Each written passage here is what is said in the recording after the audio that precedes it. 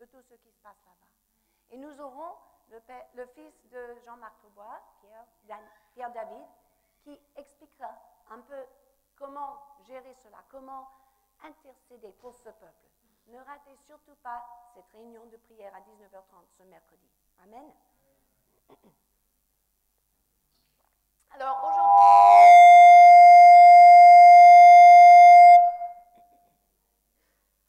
je le descends un peu plus. Aujourd'hui, nous allons continuer sur le thème créer une atmosphère pour les miracles. Je pense que ça sera le thème pour tout le mois presque. Et j'ai vraiment hâte de réaliser de plus en plus ce que Dieu a destiné pour cette Église et pour cette ville et pour cette nation. C'est-à-dire la manifestation de sa gloire, la manifestation de sa puissance, la manifestation de Jésus lui-même qui réside en vous et moi. Alors, j'ai découvert dans la parole de Dieu cette semaine trois astuces, si vous voulez, que j'aimerais partager avec vous. Trois attitudes importantes quand nous voulons voir cette manifestation de mieux en mieux, de plus en plus. D'accord Vous êtes prêts? La première, un point très important, l'anticipation. Quand il s'agit de venir à la rencontre du Seigneur, quand il s'agit de venir ensemble, de se rassembler dans sa présence, est-ce que nous sommes dans l'expectative? Frères et sœurs, l'expectative est quelque chose de plus fort que l'espérance seulement. C'est-à-dire que je ne viens pas à Jésus en espérant qu'il fera quelque chose, mais je m'attends à ce qu'il fasse. Il y a une grande différence entre attendre et s'attendre à. Il y a une grande différence entre espérer et anticiper. Et en fait, pour que notre croyance devienne une véritable foi, comme le pasteur Robert a prêché la semaine dernière, il faut que ça soit connecté à l'expectative, à l'anticipation. Par exemple, chaque fois que nous prions, chaque fois que nous ouvrons la parole de Dieu pour lire quelque chose, chaque fois que nous venions au culte, chaque fois que nous assistions à nos cellules, chaque fois que l'équipe de louange monte sur la scène, chaque fois qu'on est dans les rues de Paris avec le feu de Dieu brûlant dans nos cœurs, nous soyons dans l'expectative que Dieu veut se manifester, que Dieu veut se révéler. Vous savez, il n'est pas seulement venu pour nous bénir, il est venu pour se montrer. Christ en vous, l'espérance de gloire, veut sortir. Il veut se faire voir. On va se régler.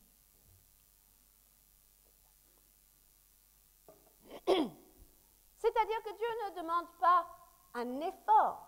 Ce n'est pas ça. C'est plus un abandon. Voilà. Abandonner à lui pour qu'il puisse dire ce qu'il a à dire. Guérir qui veut guérir. Toucher qui veut toucher. Bénir qui veut bénir. Consoler qui veut consoler. Soutenir qui veut soutenir.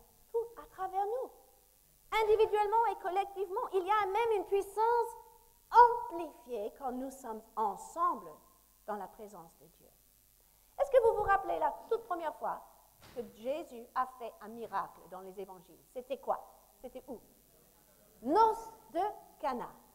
Mes amis, Dieu aime des mariages, tout simplement. Amen, disait le jeune fiancé là-bas. Bravo. Dieu aime des choses comme ça. Quelle était l'atmosphère de cette fête? La joie, la festivité, une atmosphère familiale. Est-ce que vous savez à quel point Dieu lui-même, il est prêt à agir quand nous sommes rassemblés en tant que famille spirituelle? Mais croyez-vous qu'il veut aussi agir pendant vos fêtes de famille de fin d'année? Croyez-vous que Dieu veut agir également dans un spectacle de Noël à l'église? Mais ah, j'entends quelques-uns qui disent dans leur cœur, Pasteur Catherine, tu ne connais pas ma famille. C'est pas top, hein? L'atmosphère, c'est pas terrible. C'est plutôt lourd. C'est plutôt désagréable. C'est plutôt difficile pour moi d'être en famille. Mais vous savez quoi? Quand nous lisons cette histoire dans Jean chapitre 2, nous allons voir qu'il n'y avait pas forcément un monde fou de croyants présents à ce mariage. À vrai dire, la Bible a identifié une seule personne qui a eu la foi dans le Messie. Dieu aime les mariages et Jésus était présent ce jour-là. Regardez Jean chapitre 2 et verset 5. Vous connaissez l'histoire. C'était la fête, il manquait du vin. Alors on, est venu voir Marie, la mère de Jésus, et on lui demande de s'occuper de ce problème. Et elle, elle est croyante. Elle sait que Jésus est présent. Parfois, il suffit qu'une seule personne le sait. Qu'une seule personne possède la conviction que Jésus est là et que Jésus agira. Donc les serviteurs viennent la voir et elle dit à, ses serviteurs, vous voyez euh, ce jeune barbu là-bas, c'est mon fils. Il s'appelle Jésus. Probablement dans sa tête, elle se disait, mais il est aussi le Messie. Mais je n'ai pas le droit de le dire. Alors, elle dit, c'est mon fils, allez le voir. Et regardez, ces paroles précises, faites tout ce qu'il vous dira. Quelle révélation simple. Tout ce qu'il faut, fais ce qu'il dit. Suivez ses consignes, suivez ses directives. Elle était dans l'anticipation que le problème allait être réglé simplement par l'intervention de Jésus. Pas de pression, pas de stress. Jésus s'en occupe. Jésus s'en charge. Jésus va bénir ce mariage. Parce que Jésus aime bénir les mariages. Je vois dans l'assemblée un jeune couple qui vient de fêter 49 ans de mariage. Alléluia, levez les mains. Wow! Que Dieu vous bénisse. En fait, le Seigneur m'a parlé à votre sujet à l'instant. Il dit que le temps de réticence est derrière vous, le temps d'hésitation est derrière vous, le temps d'interrogation est derrière vous. Le temps de mise en question est derrière vous. Et maintenant, vous entrez dans votre cinquième année de mariage, c'est-à-dire vous entrez dans la jubilée du Seigneur, avec les provisions, avec toutes les promesses réservées à votre sujet, pour vous, pour vos bien-aimés, pour votre ministère, pour votre action sur cette terre, votre mariage, votre vie ensemble, votre présence est encore plus important aujourd'hui qu'elle était il y a quelques années. Parce que Dieu vous appelle à être des piliers et des formateurs. Et dans l'année de jubilé, il n'y aura plus de manque, il n'y aura plus de dette parce que c'est annulé par la parole de l'Éternel. Il n'y aura plus de méfiance, il n'y aura plus de peur, plus d'angoisse, plus de stress. Parce que celui qui a décrété sur vous l'année de jubilé viendra se manifester pour vous. Et vous verrez combien il est grand, combien il, il est fidèle et combien il fait infiniment au-delà de ce que vous pourrez demander ou penser, dit le Seigneur. Que Dieu vous bénisse, vraiment. Dieu aime des mariages. Dieu aime être inclus dans les festivités. Là, dans Jean 2, il n'était pas au culte, il n'était pas au synagogue. Il a fait son premier miracle dans une fête. Vous vous rappelez même quand une personne se convertit, les anges font quoi? Ils font la fête. Le ciel est un lieu de fête. Le ciel est un lieu de grand bruit, de festivité, de célébration et de joie. Et notre mission est de faire venir son règne sur la terre. Même trois fois dans les évangiles, Jésus a dit, le royaume du ciel est proche. Savez-vous, quand vous entrez dans une pièce, le royaume des cieux, des cieux est proche à ceux qui vous entourent? Parce que Jésus, le roi des rois, habite en vous.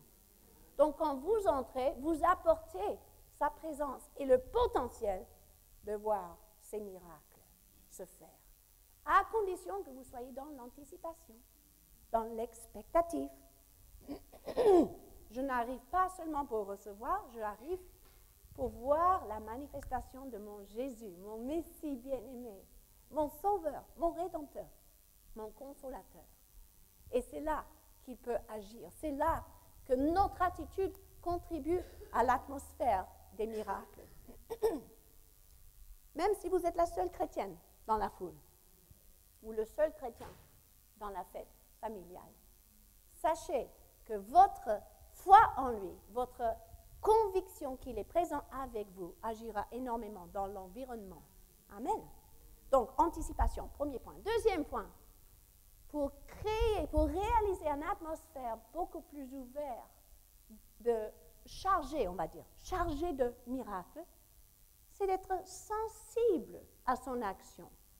Et par cela, je veux dire, ne pas s'appuyer sur sa compréhension tout le temps, sur ses raisonnements tout le temps. Dieu fait des miracles différemment qu'on attend ou qu'on a vu parfois. Vous voyez, je sais que on a une certaine euh, manière de raisonner et parfois même notre éducation religieuse a créé en nous une certaine mentalité. Mais Dieu veut élever un peuple qui est encore plus sensible à son esprit que à ses pensées. Est-ce que vous voyez la différence? Parfois, il faut presque baisser le volume du cerveau et monter volume de l'esprit à l'intérieur de nous. Je vous donne quelques exemples de la part de Dieu. Euh, voyons ça. Jean 5. Je ne sais pas comment éviter ce son, ce bruit. Jean 5, une histoire très... Sinon, je change de micro. Excusez-moi, on va changer de micro. On va baisser le volume du cerveau. Monter le volume de l'Esprit de Dieu. Parce que c'est le plus important et le plus efficace. Amen. Jean chapitre 5, 5 à 8. Vous connaissez cette histoire. C'était euh, au réservoir de Bethesda. Là se trouvait un homme malade depuis 38 ans. Jésus, l'ayant vu couché et sachant qu'il était malade depuis longtemps, lui dit, veux-tu être guéri? Regardez la scène déjà. Il est là, il est malade depuis 38 ans. Jésus a vu, donc Jésus voit tout, évidemment. Jésus savait, Jésus sait tout sur votre circonstance, sur votre environnement, sur votre passé, sur vos expériences, sur vos souffrances. Il voit tout et il sait tout. Et qu'est-ce qu'il fait? Il parle. Quand Jésus voit ta souffrance, il aura toujours quelque chose à vous dire. Le problème, c'est que parfois, nos raisonnements font en sorte qu'on est trop focalisé sur la souffrance et non sur la parole qu'il veut nous envoyer. Donc, la première chose qui se passe, il demande, il pose une question que je trouve très, très valable. Veux-tu être guéri? Et là, le malade, il répond, il ne répond pas oui Seigneur, chose qui m'étonne, parce que tu t'attends à ce que le malade dise oui, je veux guérir. Non. Qu'est-ce qu'il fait? Il fait des excuses, il, fait, il, se, il se lamente. Mais Seigneur, dans son pitié de soi, je n'ai personne pour me jeter dans la piscine quand l'eau est agitée. Et pendant que j'y vais, un autre descend avant moi. Et il se plaint et il se lamente. Qu'est-ce qu'il fait? Il est plus focalisé sur le problème que sur Jésus. Voici ce que font nos raisonnements. Voici ce que font ces tendances à centrer sur soi et non centrer sur Jésus. À donner trop d'importance à nos raisonnements. Il se disait certainement, depuis tout ce temps, la seule manière d'être guéri est d'être jeté dans l'eau quand elle est agitée. Et tout de suite, ça fait blocage. Pourquoi? Parce que ces raisonnements disaient, c'est la seule manière. Il n'y a pas d'autre option. Il n'y a pas d'autre moyen. C'est un peu comme si tu arrives et tu dis, la seule manière que je serai guéri, si c'est pasteur Robert qui prie pour moi. Ou pasteur Jean-Pierre, parce qu'il est très loin. ou pasteur Samuel, parce qu'il a beaucoup d'autorité. C'est la seule manière que je serai guéri. Non, mais c'est un peu la mentalité de l'homme, non? Voilà ce qui se passe. Il voit les guérisons autour de lui. Il se demande, bon, je ne suis pas guéri, peut-être parce qu'on ne m'a pas jeté dans l'eau. Et il commence à se plaindre. Mais qu'est-ce qui se fait par la suite? Regardez. Jésus encore, il parle. Il ne va pas consoler cette personne, il va donner un ordre. Et parfois, Dieu fait des miracles de cette manière-là. Il dit simplement, lève-toi, prends ton lit et marche. Et la suite, aussitôt, cet homme fut guéri. Vous voyez ce qui se passe là? Dès que Jésus a parlé, la mentalité a changé. Cet homme, une fois qu'il a entendu cet ordre divin, cette autorité, il ne s'est pas mis à raisonner, calculer, analyser la situation. Ben, si je me lève et je tombe, qu'est-ce qui va se produire? Ou si je me lève et, mon lit tombe dans l'eau, j'aurai plus de lit? Non. Aussitôt, il réagit à la parole vivante devant lui. Pourquoi? Parce que cette parole a transformé sa mentalité, renouvelé son intelligence. Et tout d'un coup, il ne s'appuie plus sur ses raisonnements ou sur sa compréhension, mais il agit en fonction de la parole qui est venue. Et le fruit y est. La preuve y est. Il y avait d'autres exemples. Vous vous rappelez, en octobre, Pierre nous a parlé de cet aveugle dans Jean chapitre 9.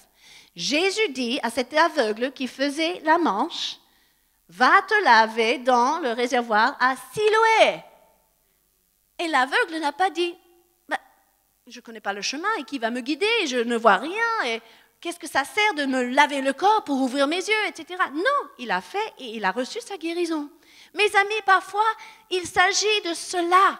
Dieu veut nous parler, seul à la maison, rassemblés, dans nos groupes de prière, quand Dieu parle, si notre cœur reçoit la parole, cette parole effectue le miracle. Cette parole vient avec autorité et puissance. La Bible dit dans Psaume 107, il a envoyé sa parole pour les guérir.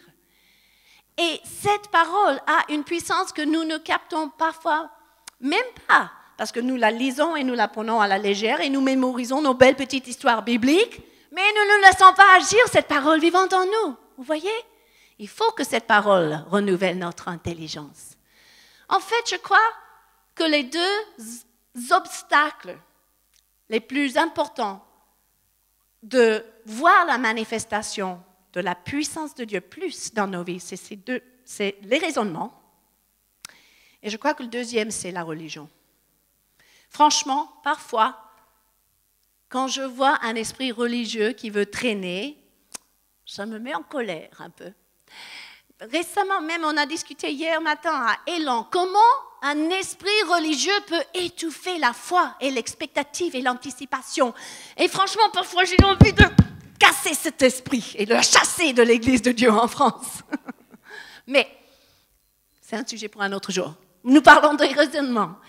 Des deux obstacles à renoncer à mettre sous nos pieds nos raisonnements humains qui font blocage à la puissance de Dieu et qui chargent l'atmosphère de l'intellectualisme au lieu de louange, adoration, puissance, etc. Donc raisonnement et religion. Alors maintenant, j'ai une question à vous poser. Quand vous considérez votre vie, votre manière d'agir dans la présence de Dieu, c'est qui le chef? Bonne réponse. Est-ce que c'est les raisonnements? Est-ce que c'est la religion? Ou est-ce que c'est le roi, des gloires, roi de gloire. Posez la question à votre prochain. C'est qui le chef, Patrick? Le raisonnement La religion Ou bien le roi de gloire? Voilà. Quand il est le chef, on réagit sans poser des questions, sans négocier, sans même réfléchir si cette réflexion va nous freiner. Est-ce que vous comprenez ce que je veux dire? Une atmosphère de miracle se produit quand le peuple de Dieu arrive dans l'expectative et dans l'anticipation, c'est un autre mot pour expectative, et dans, on va dire, prêt à réagir quand la parole est annoncée. prêts à laisser le Saint-Esprit nous prendre le dessus. Parfois, je vous donne un exemple, pas plus tard que ce matin. Chantons, levons nos voix devant le Seigneur. Alors, est-ce qu'il y a à réfléchir là-dedans? Non. Je lève ma voix, je loue. La parole est sortie par le président du culte ou par un membre de l'équipe de louange. Qu'est-ce qui me freine? Qu'est-ce qui me fait taire quand la parole dit lève ta voix. Ça se trouve que ma guérison se, produit quand je lève ma voix pour bénir mon Dieu. D'ailleurs, jeudi soir, c'était bien le cas. Jeudi soir, on n'était pas nombreux, mais c'était une réunion de prière exceptionnelle, mais vraiment extraordinaire, on est d'accord? Euh, comme tous les deuxième et quatrième jeudis du mois, nous nous réunissons pour la prière et cette fois-ci, on a rajouté le groupe de louanges et on a passé un temps d'adoration formidable, la présence de Dieu tellement épais. Mais je suis arrivée avec un mal de tête et mal à la gorge, mais j'ai dit rien, je n'ai rien dit. Je n'ai parlé à personne. Je n'ai pas demandé la prière avant de commencer la louange, rien.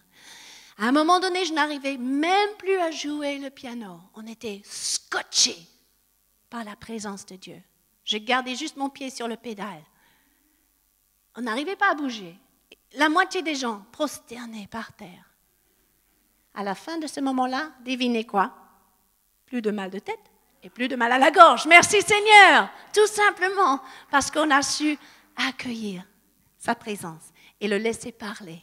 Il nous donnait des directives. C'est facile de venir à une réunion de prière avec une, liste de sujets, n'est-ce pas? Mais parfois, le Saint-Esprit fait différemment, où il va compléter la liste, ou réduire la liste, ou diriger les choses. Mais l'important, c'est quoi? Ne pas s'appuyer sur sa compréhension, ne pas se baser que sur le besoin, mais sur la personne de Jésus-Christ. Et c'est là que les miracles se font.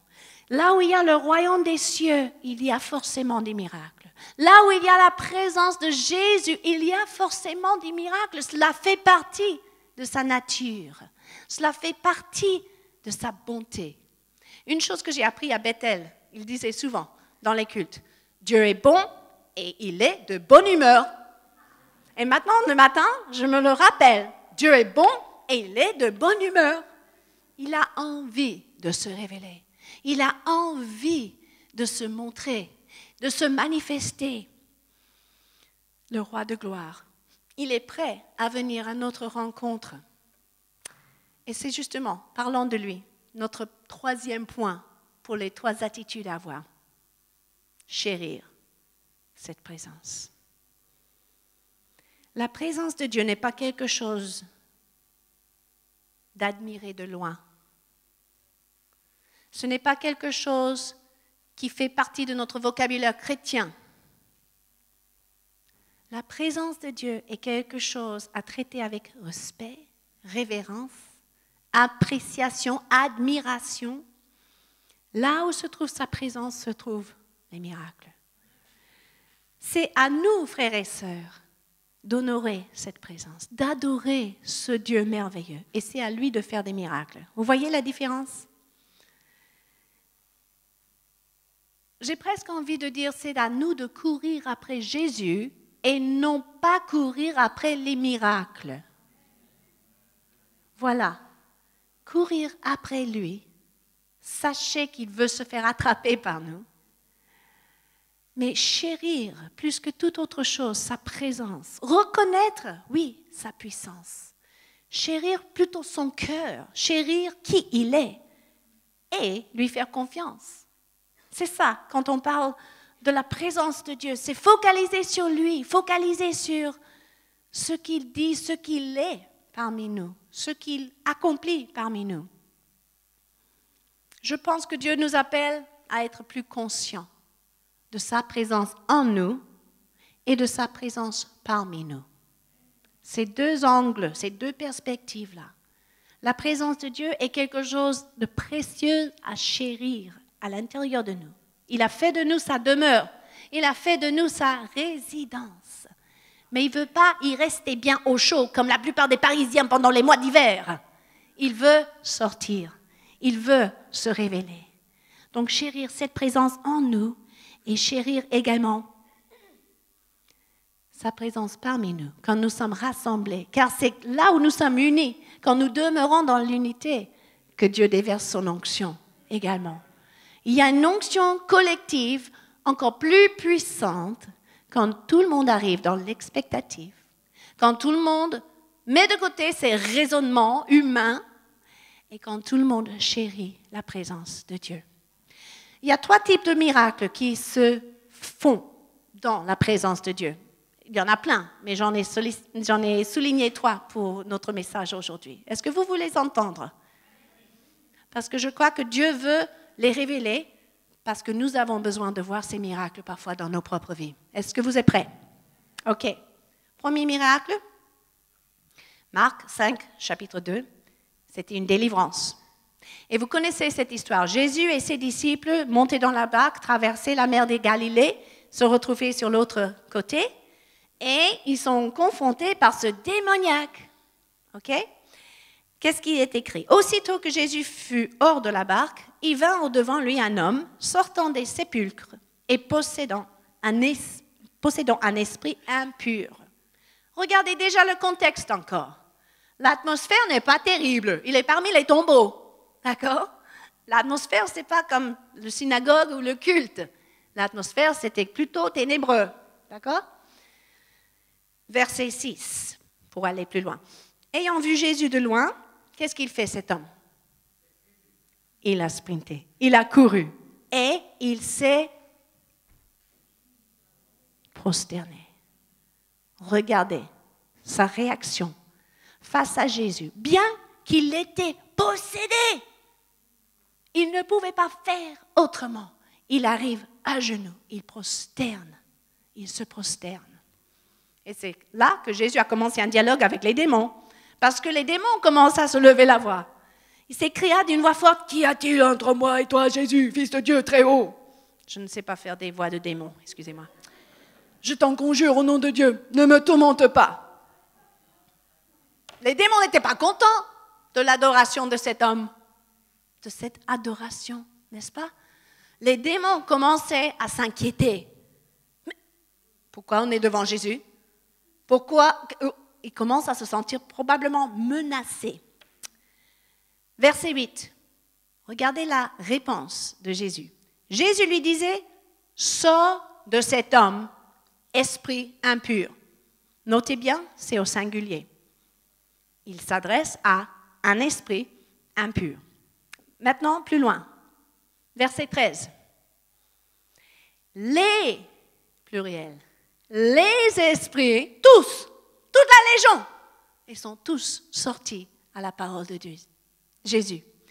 Tous sortis, entrés dans les porceaux, et vous connaissez la suite, ils sont tombés dans la mer, possédés par ces démons. J'imagine qu'à l'intérieur de cet homme, ces, démons se tenaient, ils entendaient cette parole, sors, esprit impur. Et peut-être le premier a dit au, deuxième, ben, c'est pas pour moi, hein. il parle pour toi, hein. moi je reste, moi, toi tu dois partir, parce que moi je, je refuse cette parole. C'était pas comme ça. Mais non, un seul mot, une seule phrase, une seule parole donnée par Jésus pour s'adresser à ces démons. Ils sont tous partis et jamais revenus parce qu'ils sont tombés, ils sont terminés dans la mer. Tout à fait. Donc, verset 15, il vint auprès de Jésus, tous les gens du coin, ils, ils virent le démoniaque, celui qui avait eu la légion, et le voilà assis, vêtu, dans la paix, délivrance, c'est fait, suite à son adoration, suite au fait qu'il s'est prosterné. C'est beaucoup plus qu'un geste physique, mes amis, c'est une attitude du cœur. Se prosterner veut dire s'humilier devant Dieu, veut dire avoir une révérence devant sa présence, reconnaître son autorité, l'adorer, d'autres termes, s'abandonner à lui, se soumettre à lui. Et cela fait partie d'une attitude qui chérit sa présence, qui ne prend pas à la légère la présence de Jésus. Jésus est le même aujourd'hui, hier et éternellement. Donc, ce qu'il a fait pour cet homme, par la délivrance, il fera certainement pour nous qui avons besoin de délivrance. À condition que nous n'essayions pas de raisonner. J'ai vu des délivrances tout seul, fait tout seul, quelqu'un qui tombe sous la puissance du Saint-Esprit dans l'adoration, qui roule par terre, qui rigole comme un fou et qui se lève délivré. Pourquoi? Parce que cette personne a décidé d'adorer et de louer Dieu, a décidé de se prosterner, a décidé de se soumettre à son autorité, à sa parole. Il a vécu une énorme délivrance. Comme cet homme-là possédé. Premier miracle que j'ai trouvé, suite à cette adoration. Deuxième, il s'agit d'une guérison. Qui a besoin d'une guérison ce matin? Alors vous allez trouver la solution. Ce n'est pas toujours nécessaire pour quelqu'un d'imposer les mains. Souvent, plus souvent qu'on réalise, Pasteur Jean-Pierre, beaucoup plus souvent qu'on réalise, Jésus arrive sur scène pendant qu'on l'adore. Et c'est là qu'il touche, c'est là qu'il transforme, c'est là qu'il guérit, c'est là qu'il restaure. Regardez l'exemple, Matthieu chapitre 8. Lorsque Jésus fut descendu de la montagne, verset 1, une grande foule le suivit, et voici un lépreux s'étant approché, se prosterna devant lui. Encore une fois, quelle est la réaction?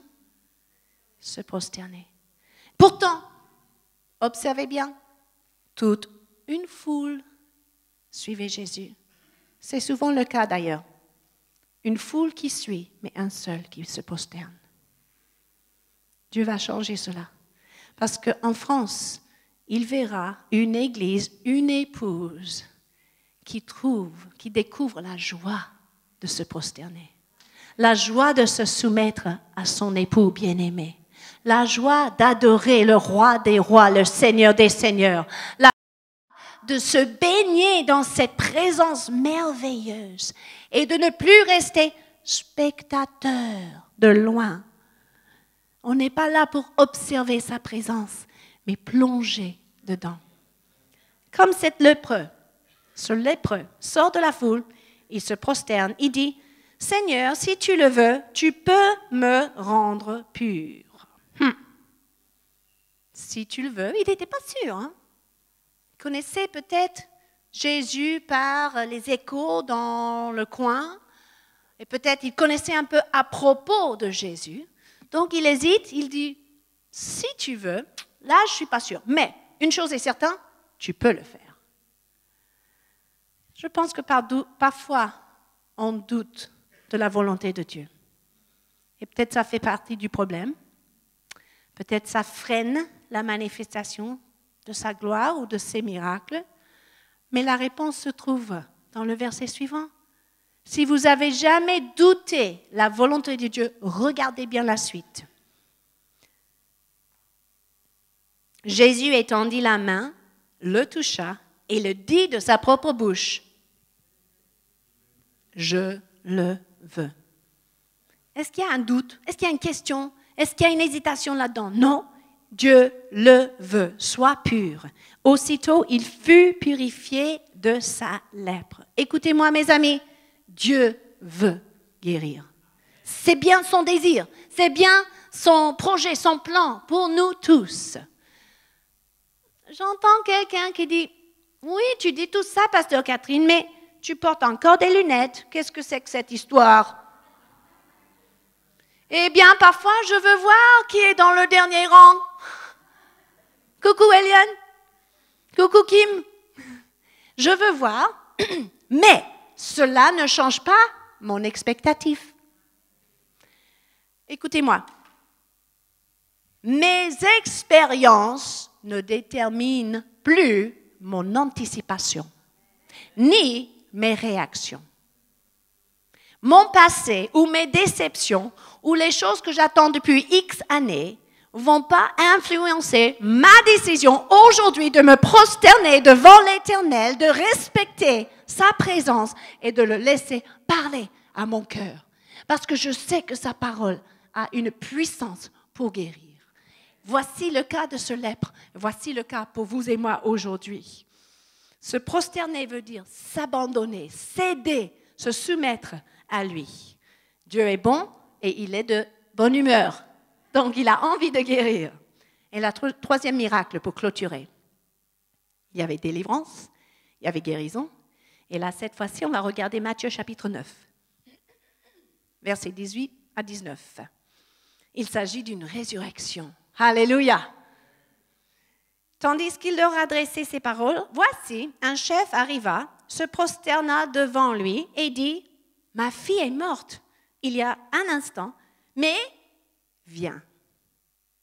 Oh, j'aime bien cette phrase. Il reconnaît les circonstances, mais il ne s'arrête pas là. Il focalise pas sur les circonstances. Ma fille est morte, mais viens. Voilà la chose à faire. Accueillir Jésus dans les circonstances. Accueillir Jésus dans la situation difficile, voire impossible. Accueillir la présence de Jésus. Continuons. Mais viens, impose-lui les mains et elle vivra. Regardez la déclaration de foi que fait cet homme. Il suffit que Jésus, tu viennes, tu imposes tes mains, elle vivra, je le sais. Jésus se leva et suivit avec ses disciples. Le miracle s'est fait pour cette petite fille dès que Jésus l'a touchée. Parfois, il suffit d'être touché par la main de Jésus. Quand il est arrivé dans la pièce, qu'est-ce qui s'est produit? Verset 23. Lorsque Jésus fut arrivé à la maison du chef, il vit les joueurs de flûte et la foule bruyant. Qu'est-ce qu'ils faisaient là, ces gens? Ils faisaient le deuil. Ils ont déjà clôturé la situation. C'est terminé, elle est morte, on va l'enterrer, donc on fait venir tout ce monde pour le deuil. Mais c'était exactement le contraire de ce que Dieu voulait faire. Il leur dit, retirez-vous, car la jeune fille n'est pas morte, elle dort. Ils se moquaient de Jésus à ce moment-là, ces gens. Donc c'était beaucoup plus que des professionnels. Ils avaient quand même un esprit. Hein. Vous reconnaissez cet esprit de moquerie parfois? Quand vous voulez quelque chose, vous voulez voir quelque chose d'impossible ou de fou aux yeux du monde et vous êtes attaqué par cet esprit de moquerie? Eh bien, Jésus n'a pas toléré cela. Regardez, il leur dit, retirez-vous, car la jeune fille n'est pas morte, elle dort. Et il se moquait, et quand la foule a été renvoyée, il entra, il prit la main de la jeune fille, et la jeune fille se leva. Voilà la résurrection.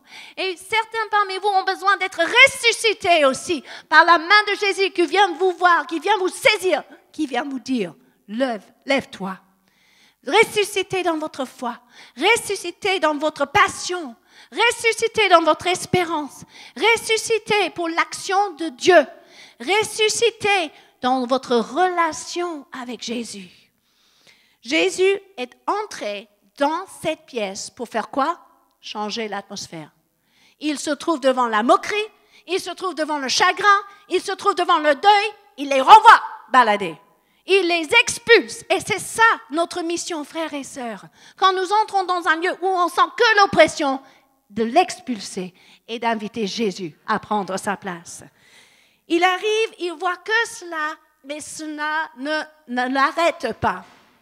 Il fait cette déclaration, il renvoie le doute, l'incrédulité, et tout cela suite à un seul homme qui osait croire, qui osait adorer Jésus, qui osait recevoir, accueillir Jésus. Ma conclusion, frères et sœurs, si on doit terminer ce message, c'est simplement courir après Jésus. Accueillir Jésus. Faire de notre cœur comme un hôtel pour sa présence, pour une rencontre. En fait, je crois que c'est le moment de le faire tous ensemble ce matin. Si je peux avoir l'équipe de louange à l'estrade. Je le sens comme ça, Jean-Pierre. Pas d'équipe de suivi tout de suite. Mais nous allons faire de cette salle un hôtel, un lieu de rencontre où vous et moi, nous pourrons nous prosterner là devant son hôtel, nous prosterner devant sa présence, nous prosterner devant sa sainteté, devant son autorité, devant sa grandeur. Frères et sœurs, c'est ça qui va marquer nos rencontres ensemble, nos cultes, nos réunions de prière, nos groupes de maison, notre temps personnel à la maison. Il est temps de se prosterner et vraiment adorer et accueillir celui qui est la source de notre espérance, la source de toute puissance et la source de notre joie. Levez-vous. Déplacez-vous si vous le souhaitez. Mais tout le devant est disponible parce que nous avons un temps, 5-10 minutes, je pense, pour juste chercher sa face, chercher son cœur, se prosterner devant lui et le laisser parler, le laisser agir. Médéric, si tu veux supprimer cette table, ça fera de la place. Je vous invite à vous déplacer si vous le souhaitez et vraiment laisser le Saint-Esprit, non les raisonnements, vous faire approcher de Jésus.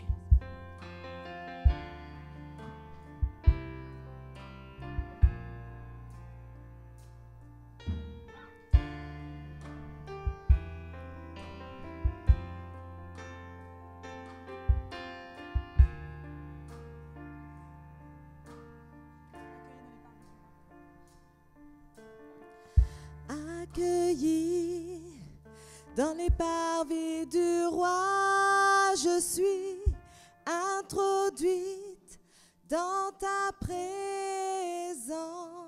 Je me tiens sur le lieu de ta grâce.